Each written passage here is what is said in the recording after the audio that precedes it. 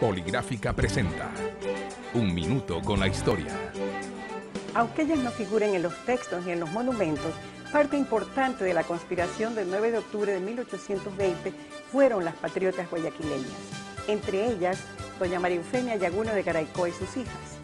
De manera especial, doña Anita Garaycoa de Villamil, esposa del prócer José de Villamil, quien fue la encargada directa de organizar en su casa el baile que la noche del 1 de octubre de 1820 ubicó como protagonista central a la jovencita Isabel Morlás, mientras en una habitación posterior de la casa los patriotas se juramentaban en la llamada fragua de Vulcán. Estos y otros nombres de ilustres patriotas guayaquileños deberían figurar en nuestra historia. Este es un aporte cívico de la Academia Nacional de Historia, CN3, y la Junta Cívica de Guayaquil, con el auspicio de Poligráfica.